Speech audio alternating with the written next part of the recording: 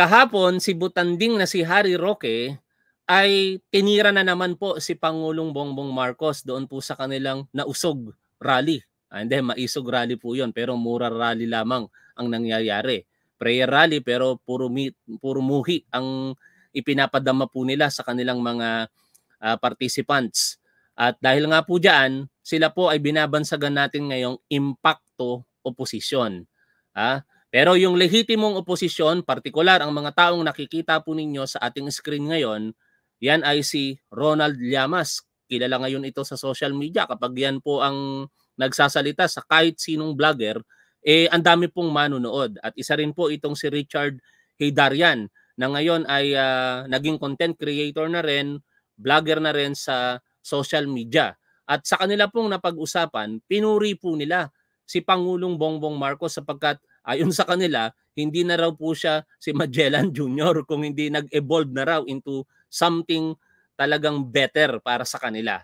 O, balikan po natin ang podcast or uh, live streaming nitong si Richard Heydarian with Ronald Llamas. At ano ba yung mga appreciations po nila sa ating Pangulong Bongbong Marcos. Nakakatuwa kasi sila po ay mga lehitimong oposisyon. Basically, sila po ay anti-Marcos. Pero nakapakaganda kasi ng ating demokrasya. Kapag ka meron kang nakikita na hindi maganda bilang lehitimong oposisyon, ibo-brought out mo yan sa harapan ng publiko. Pero kung ikaw naman ay uh, nakakakita ng maganda sa ginagawa ng kasalukuyang gobyerno, eh ibigay mo yung credit sa nararapat para sa kanya. O ito, pakinggan po natin ang pahayag ng dalawa diyan po sa YouTube channel nitong si Richard A. Darian. Okay, Sir Ronald Liamas. Boom! Talaga to si BBM from Magellan Jr., nag-level up na talaga. Keynote speaker of the Shangri-La Dialogue. First, the first Philippine president. Philippine mm. president and one of the few Southeast Asian leaders, right? Uh, who have ang, given... ang pinag-uusapan po nila mga tol, yung natapos na forum or uh, sa parte ng ating Pangulo, nagbigay po siya ng keynote address sa harapan po ng mga participants, more than 50 countries po and their delegations ang present po dito. Ito po yung International Institute for Strategic Studies na mas kilala po sa tawag na Shangri-La Dialogue. Nangyari po yan noong May 31, 2024 sa Singapore at talagang sa mahigit sa 20 minutong talumpati po ng ating Pangulong Bongbong Marcos kasama na rin po yung uh, idagdag pa dyan yung naging question and answer portion eh talagang hinangaan po ng international community si Pangulong Bongbong Marcos sa kanyang naging talumpati at sa kanyang naging kasagutan partikular doon po sa iniraise na question ng isang Chinese general doon po sa forum. Kaya ito po ina-appreciate ngayon ng mga lehitimong oposisyon, partikular nitong si Richard Heydarian at saka si Ronald Llamas. In this keynote speech, it's a big, big, big deal.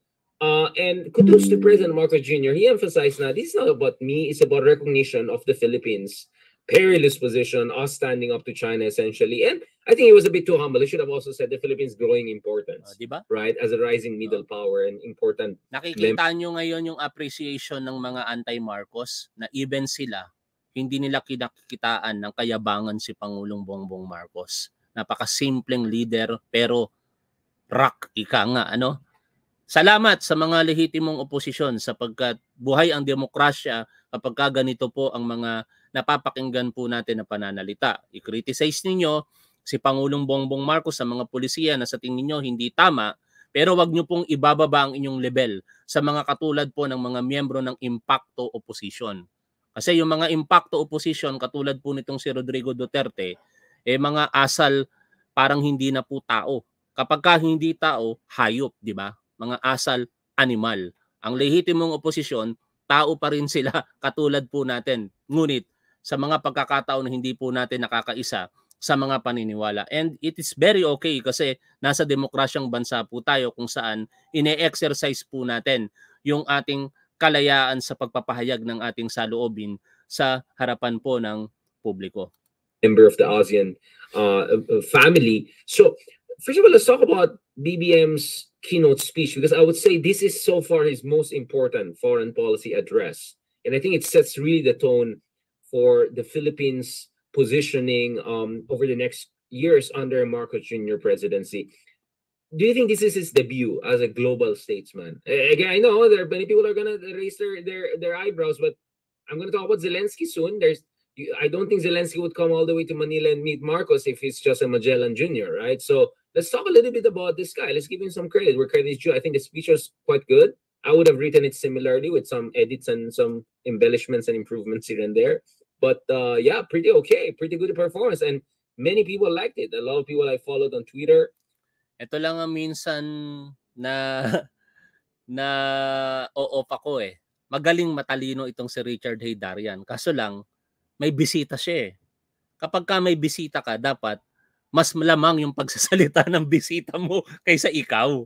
No?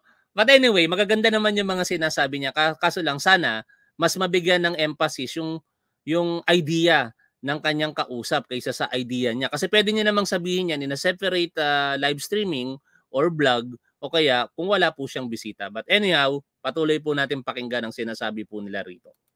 My friends from Australia across the region, they really appreciate it because he also emphasized smaller countries, South Pacific countries. He emphasized uh, the need for for not choosing, but who push both superpowers to talk to each other and sort it out. So very responsible statesman. Hindi yung Team America kami, Team hmm. China kayo. Hindi. He, he was very, very nuanced there. Si Rodrigo Duterte, nung panahon, tatalikuran niya raw lahat at magiging ang direksyon ng kanyang uh, pakikipagkaibigan ay para sa China lamang. O kaya pinagmumura niya ang mga head of states ng uh, nasa Amerika, even ng mga nasa Europa, o ganun po, ang napaka-irresponsableng pahayag ng dating Pangulong Rodrigo Duterte. Pero bilang isang leader, hindi ka dapat ganon. Kaya tama po yung sinabi ng ating Pangulong Bongbong Marcos sa kanyang talumpati na hindi natin kailangan pumili sa pagitan po ng China at ng Estados Unidos. Pero kailangan natin i-improve yung ating relasyon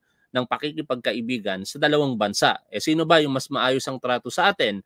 Ang Estados Unidos. Kaya more dito tayo nakikipag tulungan but it doesn't mean na tayo po'y bumabaklas sa pakikipagkaibigan sa China. Ang sa atin lamang, iginigiit natin ang nararapat para sa atin, partikular ang ating karapatan diyan po sa West Philippine Sea.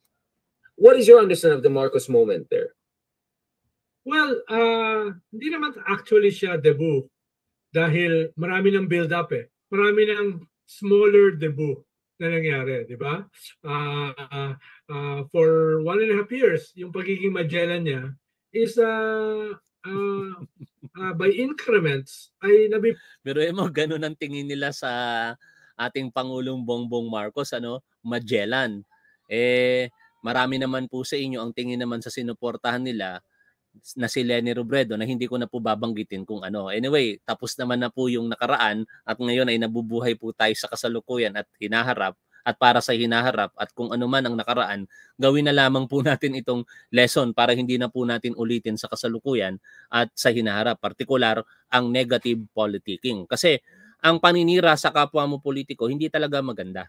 Kaya sana sa darating na 2025 hanggang 2028 at sa iba pang mga susunod na halalan, makita na lamang po natin na ang mga politiko isinusulong ang kanilang mga plataforma, ang kanilang mga ninanais na mga gawain para po maipa, mapaunlad ang bansa at ang buhay ng ating mga kababayang Pilipino at hindi po naninira ng kanilang mga kalaban sa politika.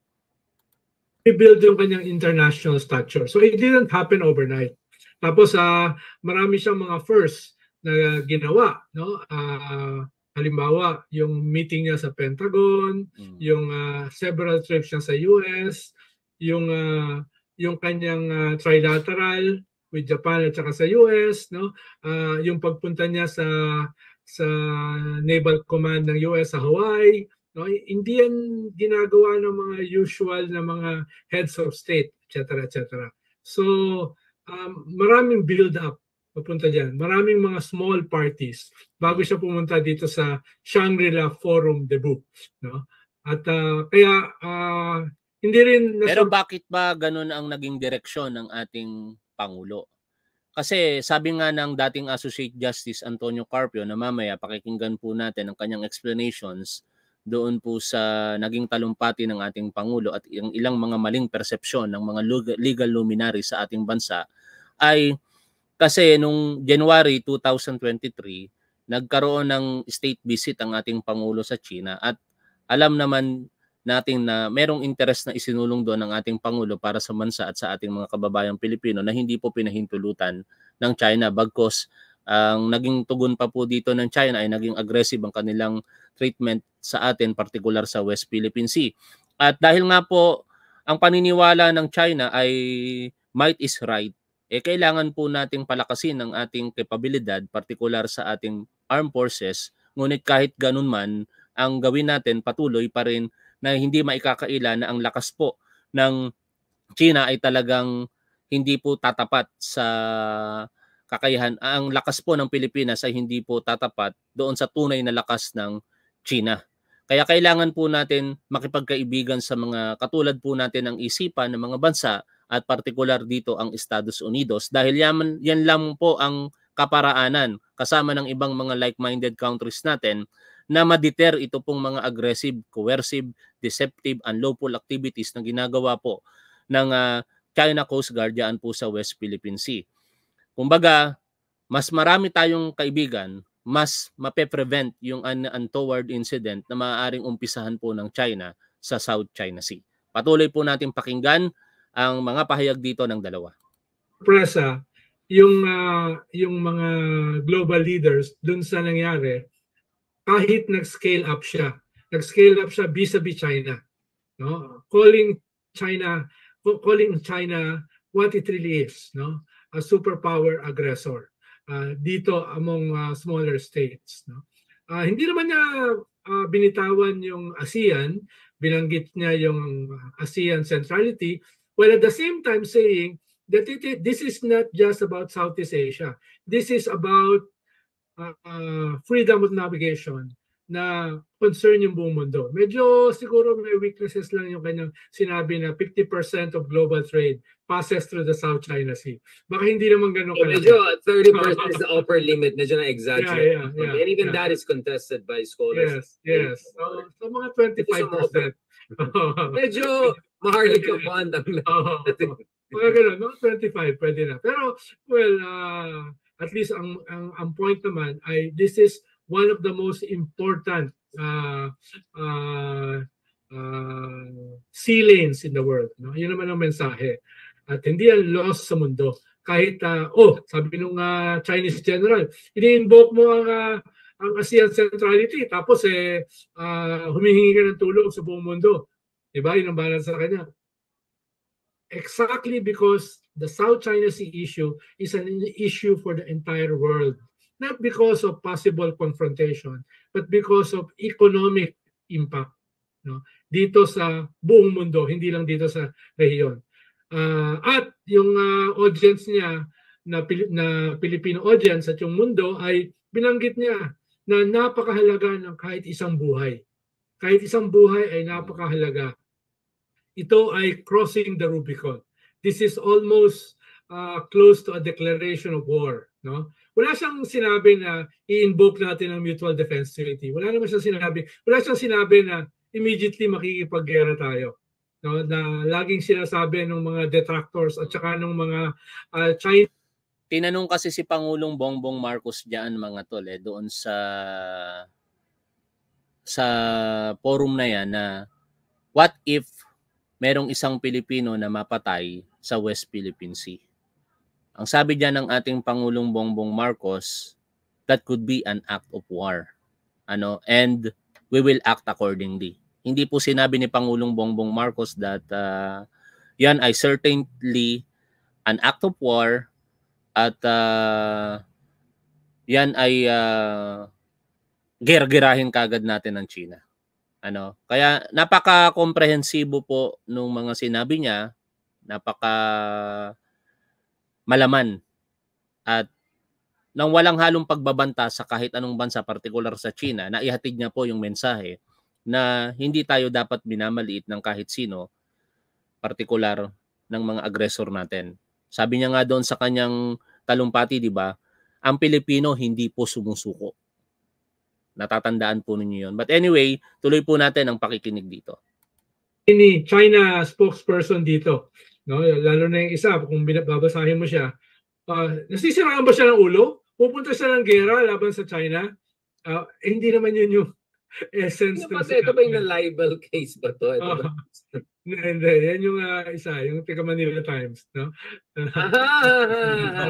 Kasi siraan na ba siya ng ulo? Makikipag-away Ngayon, siya sa punta tayo doon sa isa sa mga pinakamahalagang parte ng uh, talumpati ng ating mahal na Pangulong Bongbong Marcos. Kung babalikan po natin ang uh, talumpati na yon ni Pangulong Bongbong Marcos, medyo balikan po natin ano kasi marami pong mga binanggit si Pangulong Bongbong Marcos sa kanyang talumpati dito na talagang magre-reflect po sa paninindigan po ng ating bansa, partikular sa West Philippine Sea. Muli po nating pakinggan ang uh, talumpati ng ating Pangulong Bongbong Marcos bago natin puntahan yung reaksyon po dito nito pong si dating Associate Justice Antonio Carpio. And Philippine President Ferdinand Marcos Jr. is delivering his keynote address. Let's take a listen right now. Very kind and thorough introduction. Our Prime Minister uh, Lawrence Wong, Senior Minister Lee Hsien Loong, uh, Sir John Chipman, of course, uh, uh, Your Excellencies, ladies and gentlemen. I thank the International Institute for Strategic Studies for convening this open, frank, and constructive conversation on pressing strategic issues confronting our region. I also thank the government of Singapore, especially Prime Minister Wong and Senior Minister Lee, for providing an environment that is conducive to this dialogue. The notion of Shangri-La conjures up a mystical sense of tranquility, of free souls living in peace and harmony.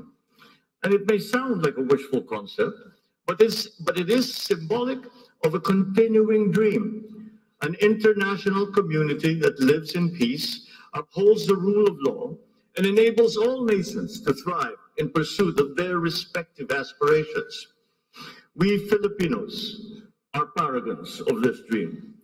Our history reflects our commitment to the values that engender amity, fraternity, and sovereign equality amongst nations. Our commitment to peace and to the rule of law inheres in how we have defined our sovereign home. When we established our Commonwealth in 1935, we put together a constitution that defined our territory in accordance with the international treaties that became the basis of our archipelagic unity. The Treaty of Paris between Spain and the United States crystallized our islands into a cohesive whole. The Treaty of Washington clarified the extent of our sovereignty and patrimony and a line set by international powers. We sought to uphold and preserve the integrity of our country's physical unity through international law. Together with others, we put forward the archipelagic doctrine, which regards all archipelagic states as a single unit with the waters around, between, and connecting their islands, irrespective of their breadth and dimension, forming part of their internal waters. This doctrine has since been enshrined in the 1982 United Nations Convention on the Law of the Sea, or the UNCLOS. The same convention also clarified the limits of each state's maritime zones and defined the extent with which they could exercise sovereignty, their sovereign rights, and jurisdiction over those zones. Accordingly, we have made a conscious effort to align our definition of our territory and our maritime zones with what international law permits and recognizes. This has been inscribed in Article 1 of our Constitution. As Senator, I was proud to co-sponsor our Archipelagic Baselines Law, which defines the basis of our maritime jurisdictions. As President, I look forward to signing our Maritime Zones Law, which will clarify the geographic extent of our maritime domain. Our efforts stand in stark contrast to assertive actions that aim to... Now, mga tol, yung sa mga first lines ng talumpati ng ating Pangulong Bongbong Marcos, may mga binanggit siyang treaties at uh, iba pa na may kaugnayan po sa territory po ng bansa. At dito po sa interview kay uh, Justice Carpio, pinaliwanag niya po rito kung bakit na-mention ng ating Pangulong Bongbong Marcos ang Treaty of Paris at the same time ito po daw ay naghahayag ng ating polisiya sa kasalukuyan. na dapat malaman po ng publiko, in particular ng ating uh, katunggali dyan po sa West Philippine Sea. Kaya pakinggan po natin ang paliwanag dito nitong si Justice Carpio na sa kanyang pananaw at meron naman talaga siyang pinaguhugutang katotohanan, eh yung mga naging paniniwala po ng ilang legal luminary sa ating bansa sa katauhan ni na Attorney Estelito Mendoza, Attorney Juan Ponce Enrile at iba pa ay mali. Kasi ang katotohanan, ang mga parte partikular ng Scarborough Shoal, Spratlys Islands ay matagal na pong pag-aari ng bansa po natin at ito po ay ebidensya na makikita sa mga mapa panahon pa po ng mga Kastila. Pakinggan natin ang napakagandang paliwanag dito nitong si Justice Carpio. Oy, maraming salamat Green Monkey ah. Salamat. Okay, Justice Carpio, I wonder if you monitored in um, the president's speech at the Shangri-La Dialogue, there was a mention of uh, the Paris Treaty. I understand from Ronald here, it was the first time that a Philippine president has ever mentioned the Paris Treaty in the context of uh, our claims in the West Philippine Sea. Uh, Justice, can you tell us what the significance of this is? What Well, uh, utility does it have you know, in our claims? That's very significant. It's uh, one of the most significant events uh, that really happened lately because uh, if you look at the uh, our history, uh, if you look at the Phil- Journal, the Philippine uh, uh, journal, uh, the Journal of the Philippine Judicial Academy, there's an article there by former Solicitor General Estelito Mendoza, and he said that uh, the Philippines never owned, never had sovereignty over the KIG, over the Spratlys, until 1978, when the President Marcos issued PD 5096, uh, creating the Calayan Island Group. So he said, uh, the our territory is limited to the islands within the Treaty of Paris lines. That was the what uh, Estelito Mendoza said that we uh, we never owned through the centuries the Spratlys. Mhm. It was only in 1979, 78 that we claimed it under PD 5096. 78 is rather late, where you know you're a Johnny come lately if you base your claim starting 1978. So that's Stelito Mendoza. And then you have uh, uh, Father Bernas, the Dean of the Ateneo Law Mhm. School, who said that Philippine territory is limited to the islands within the treaty lines. If we have to claim the Spratlys, we must use other principles of international law, not treaty law.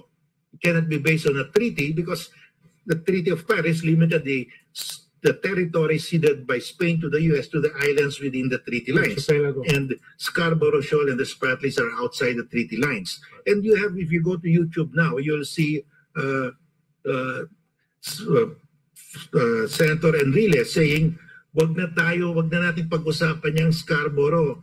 Hindi sa atin yan, squatter lang tayo dyan. That's outside the Treaty of Paris lines. That's not our territory. So, uh, all of these narratives by these uh, legal luminaries uh, uh, convinced China Mhm. that Scarborough Shoal and the Spratlys are outside Philippine territory. And that's why when when Foreign Minister Wang Yi in 2016, uh, uh, February 2016, before the arbitral award was issued, he spoke at the CSIS, that's the leading think tank in Washington, before diplomats from all over the world.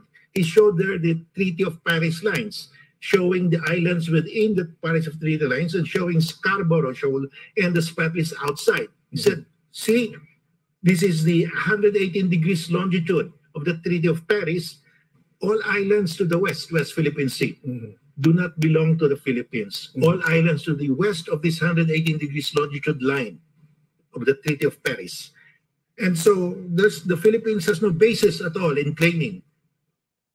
And in fact, uh, the Chinese are quoting uh, Estelito Mendoza. So this has created, uh, you know, some other writers uh, in uh, Oh, Western para sa pangunawa ano na mas mabilisan. Yung mga naging paniniwala po na ito ng mga ating legal luminaries na yan ay hindi bahagi ng ating bansa kaya hindi na po dapat pag-usapan ay wala daw pong katotohanan. Sabi dito nitong si Justice Carpio, factually false yung kanyang ah, ginamit na termino. Kasi sa kanyang pagpapatuloy dito mamaya sa mga paliwanag niya, mga babanggitin niya po ang mga ebidensya, partikular ang mga mapa, ang mga ginawa ng ating mga ninuno sa panahon po ng Kastila na noon pa man, yung mga lugar na binabanggit po o pinag-uusapan po natin ngayon ay bahagi na po talaga ng Pilipinas. Salamat po Jerry Ramil. Patuloy po natin pakinggan dito itong si Justice Carpio. Journals, uh, and really it pains me to read the, them and say that we are a late claimant. We only base it in 1978. And if we base it in 1978, we're too late the hero, too late to the party because uh, China claimed it in 1947. Pero In the, kahit sabihin po natin na late yung claims natin diyan, isa rin po yan sa pinupuri ng ating ah, mga kapwa Pilipino, particular ng mga anti-Marcos forces na sa panahon po ng dating Pangulong Marcos Sr., talagang saludo sila sa naging foreign policy nito. Yan, in a separate interview naman nitong si Richard Haydarian kay ah, Justice Carpio na sabi nga nila maraming usapin tungkol sa Marcos Senior Administration pero hindi nila maikakaila na pagdating sa foreign policy ng dating Pangulong Marcos Senior ay talagang saludo po sila. At doon sinambit po nitong si Justice Carpio na ibigay ang nararapat na credit sa dapat tumanggap po nito. Walang iba kung hindi si dating Pangulong Marcos Senior. Okay? Kasi pinabanggit po dito yung 1978 claims po natin kung saan meron na po tayong presidential decree at ang nasa likod po noon, syempre, ang dating Pangulong Marcos Sr. their China Handbook of 1947. So, uh, but th- these are all wrong.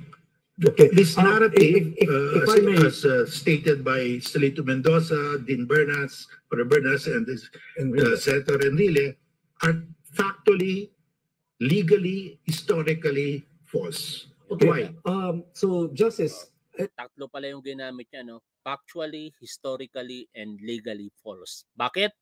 Tingnan natin kung ano ang kasagutan po diyan ni Justice Carpio. then it begs the question: Why was it included? Why was it mentioned in the speech by the president? Because when the the after signing the Treaty of Paris, so the Americans came here, and uh, the Spanish garrisons in uh, Cagayan de Sulu, Cebuto, Mampun Island refused to vacate. They said, if you look at the Treaty of Paris lines, we are outside the Treaty of Paris lines because there was a mistake. In the Treaty of Paris, there were fixed coordinates, uh, longitude, latitude of all the lines. So they drew the lines, and there were certain islands like in Cagayan de Sulu and Cebuto outside the line. So the Spanish garrison there refused to move.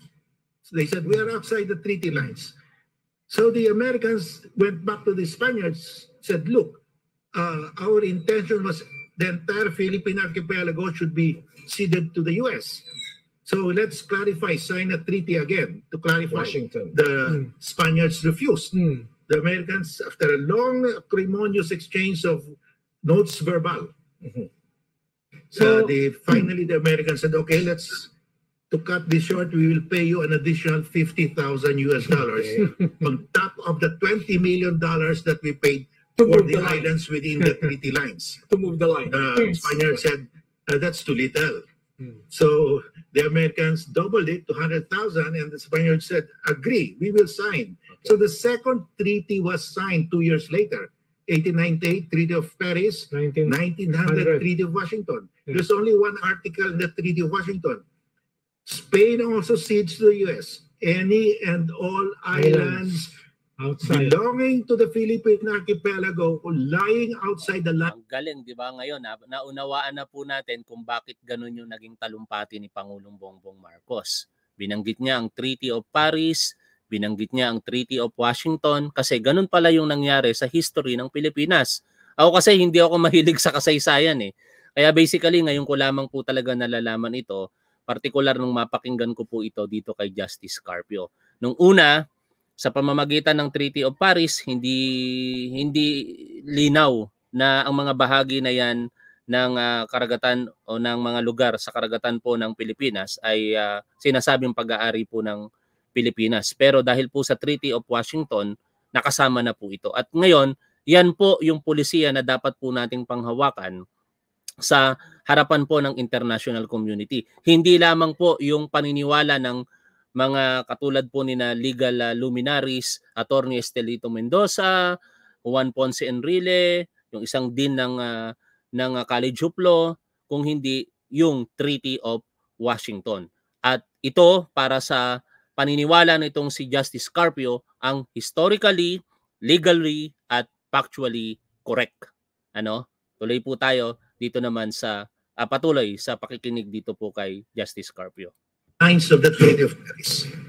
So it included all islands of the Philippines. Pasensya na po kayo sa mga nagtatanong. Pagka hindi po relevant sa topic natin, hindi ko po i-entertain. Kasi ang layo po nung issue eh.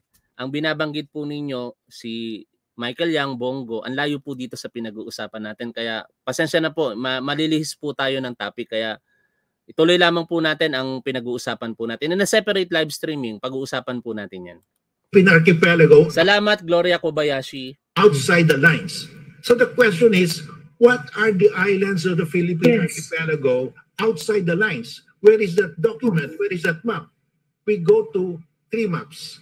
1734 Murillo Velarde map because it says Yes. that Panacot, that's Scarborough. It says that Los Baos de Paragua, that's those are the Spanish. The second is, and that's an official map of Philippine territory as of 1734 because of the uh, uh, you see that in the cartouche on the upper right side, right hand side. The Justice, that's the map behind you, di ba? yeah, yeah, that's it. That's the map behind you. Yeah, you will Yeah. see there here the cartouche. Yeah. That's the Royal Crown of Spain. That means it's an official Yes. map. Okay, Yun yun, that's the map behind it. him. that's the The, map. the Belarde map. Yes. Yeah, So- the Murillo Velarde map. The Yeah. second map is the 1808. The 1808 al- is also an official Spanish, the second official Spanish map of Philippine territory during the Spanish regime. And it's more precise now because Scarborough Shoal is there with depth soundings because uh, Alessandro Malaspina came here to Manila in 1792 and went straight to Scarborough to conduct a depth sounding Yes. measure niya yung depth of all Mm. the rocks so to guide navigators and that's why there is that uh, in 1808 map you see the uh, depth soundings there the survey of Malaspina and then the Mm. last map uh, of Philippine territory during the Spanish regime the uh, 1875 Carta General that Singit ko lang ito. Kaya whether we like him or not, ito pong si Associate Justice Carpio before kasi alam naman natin na ito po yung nagpakalat ng 203 billion pesos question sa estate tax ng mga Marcos. Yet, ang mahalaga ngayon, siya ay nire-recognize niya ang kagalingan ni Pangulong Bongbong Marcos at namangha nga daw po siya, ikinagulat niya na hindi niya inexpect na ang polisiya na tinatahak ngayon ni Pangulong Bongbong Marcos ay tungo doon sa iniisip na nila noon pa. Kasi ang akala nila, dahil nga si Pangulong Bongbong Marcos, particular kakampi si Sara Duterte, susunod na lamang po ito sa mga naging hakbang nitong si Rodrigo Duterte. Pero hindi po ganun ang nangyari. Bagkos, si Pangulong Bongbong Marcos, iginiit ang ating karapatan sa West Philippine Sea na hindi po nagawa ng kanyang pre- predecessor na si Rodrigo Duterte. Kaya salamat pa rin dito kay Antonio Carpio sa kanyang kagalingan dahil marami po tayong mga nalalamang impormasyon ngayon na hindi natin alam noon. At sana ito pong mga kaalaman na sinasambit sa atin itong si Justice Carpio, malaman po ng mga bagong henerasyon mga Pilipino para tayo po magkaisa once and for all at yung pakikipaglaban po natin, particular diyan po sa bahagi ng South China Sea na kinikilala po nating West Philippine Sea, ay maging maalab sa puso at damdamin nating mga Pilipino. Kasi marami pa rin po ngayon, mga ilang porsyento silang mga DD shit na ang paniniwala ay kung ano ang paniniwala ng mga China, ng mga ng kanilang sinusuportahang si Rodrigo Duterte, which is hindi dapat bilang isang Pilipino. Kasi tayo, bilang isang Pilipino, dapat pahalagahan po natin kung ano po yung sa atin. At atin po ang West Philippine Sea. archipelago Filipino. And when the Americans came here, they didn't have a map of the Philippines. They adopted in toto the 1875 Carta General of the Spaniards because it was the most complete map. You can see Scarborough Shoal there, and you can see the entire Spratlys. You can see Pat Tito. Island is there. Tito Island is Yes. You can see Okay. Ituaba. Ituaba is there. Everything, and with depth soundings. So, with, the, with depth measurements of the depth around the islands to guide navigators. So this is really the complete map of Philippine territory. When you ask the question, what are the islands of the Philippine archipelago outside the lines of the Treaty of Paris? This is the map. Okay. So- and in the in the Islas Palmas case, that's the famous case uh, between the Netherlands and the U.S. over the island of Palmas off the coast of uh, Mindanao uh, in the Philippine Sea, because the the Spaniards discovered the island and put it in the in the 1875 map. But the Spaniards never returned to the island. It was the Dutch East India Company that went there and signed a treaty with the locals. There were about five, 700 people living there. So the Datu, the local chieftain, pledged allegiance to, to the Netherlands.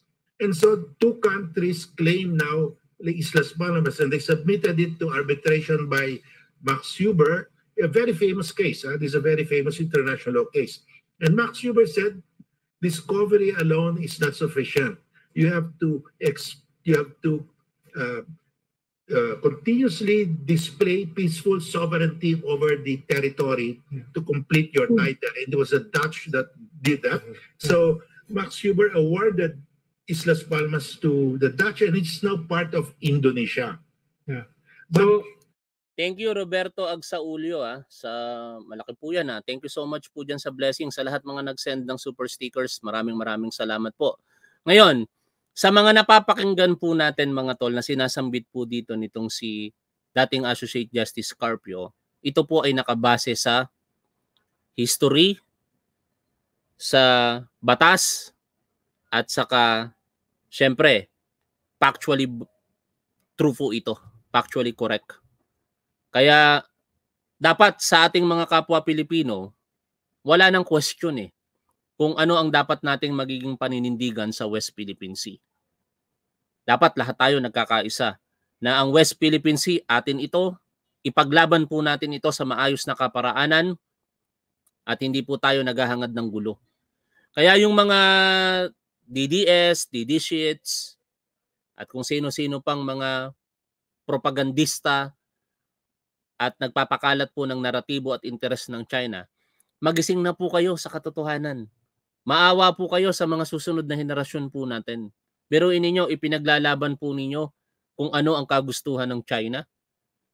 Instead na suportahan ninyo kung ano yung nararapat bilang isang Pilipino na ang naariin po natin ang West Philippine Sea, ipagtanggol po natin ito sa lahat ng pagkakataon, e baligtad po ginagawa ninyo. Kapag ka umaatake ang China, pinagtatanggol pa ninyo. Um, ano ang pinaka latest na balita by the way? Diyan po sa bahagi ng West Philippine Sea. Meron pong pagsus pagsusuri na ginagawa po ang ating mga ah, eksperto, maritime expert. At sila po ay hinarang ng ah, mga China Coast Guard.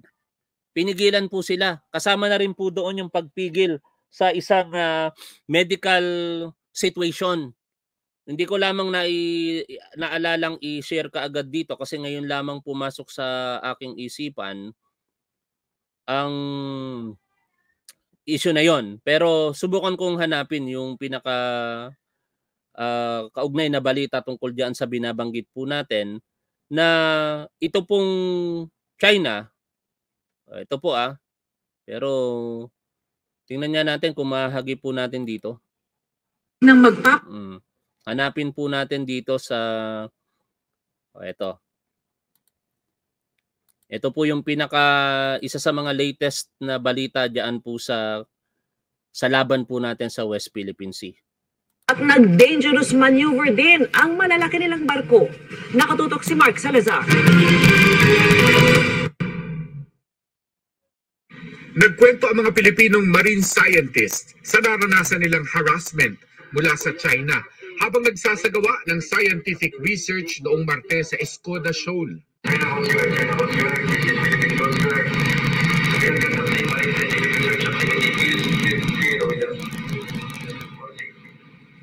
Medyo outnumbered actually yung ah, boats natin. Nakita nyo naman apat yung Coast Guard nila, marami silang rubber boat at nagpadala na rin sila ng um, speedboat actually. We were certainly uh, worried for our welfare.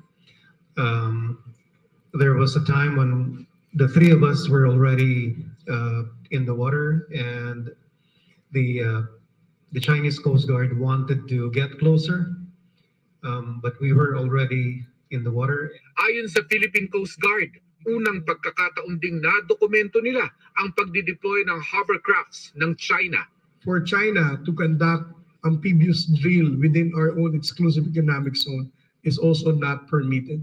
Um, I'm I'm pretty certain that they have not informed the Department of Foreign Affairs of such military uh, exercise that they are conducting while at the same time we are doing a marine scientific research. Would this merit a diplomatic protest on the part of the Department of Foreign Affairs? Um, the Philippine Coast Guard will be uh, formally submitting our after operation report after this event uh, to the National Task Force West Philippine Sea. Dahil sa insidente, limitado ang naisagawang marine scientific research. Pero sapat ang nakita ng mga scientists para sabihing 100% ng sira ang mga coral sa Escoda Shoal. Okay? Ang masakit na katotohanan ngayon mga tol dyan, binabaligtad pa tayo ng China. Sabi ba naman dito po sa balita na ito, mula po sa Global Times, video obtained by the Global Times shows the high-speed assault boats dispatched by the Philippines participated in the illegal transport and repair. The boats, which belonged to the Philippine military, carried a large number of suspicious materials. Anak ng teteng. Tapos ini-enable ngayon ito ng ilang mga DDS, DD sheets. Pinapalaganap nila ngayon ito dito sa Pilipinas at sinasabing tayo daw po ang nangaharas. Eh kitang-kita nyo naman po dito sa balita, di ba? Ngayon, ano ang punto? Bakit po natin muli itong pinag-uusapan? Impormasyon na tama at dapat para sa ating mga kababayang Pilipino. Kasi marami po sa ating mga kababayan ang unaware po dito sa mga nangyayaring issue na ito sa ating lipunan, sa gobyerno natin, sa kasalukuyan. At mahirap baka mabiktima po sila ng mga ng mga kasinungalingan nito pong mga DD sheets. Kaya bilang concern na Pilipino, tayo po yon hindi lamang po kaming nagsasalita sa harapan ng kamera kung hindi tayo po. Kayong mga nakakapakinig sa mga balita at nakakapakinig sa mga vlogger na sumusuporta sa kasalukuyang gobyerno, maging responsibilidad po natin ngayon, partikular sa ating pamilya, sa ating mga kaibigan, sa ating mga kakilala, sa ating makakasalamuha at makakausap sa labas, eh, i-inform po natin sila kung ano yung tama na mga impormasyon. Otherwise, baka pagsisihan po natin ito sa huli. Dahil kapag ka nawala po sa atin ang West Philippine Sea, sigurado mapapahamak po ang susunod na henerasyon ng ating bansa. Kaya nakikiusap tayo sa lahat, lahat ng mga nalalaman po natin, i-relay po natin sa ating mga kakilala, kamag-anak, o kung sino mang mga individual na maaaring tumanggap ng mga impormasyon na yan at makasama na po natin ang manindigan sa West Philippine Sea. At i-condemn po natin ang mga ginagawa, lalong-lalo na ng mga kapwa natin Pilipino na ini-enable po nila ang mga narrative, false narrative, mga interest ng China na ito sa ating bansa.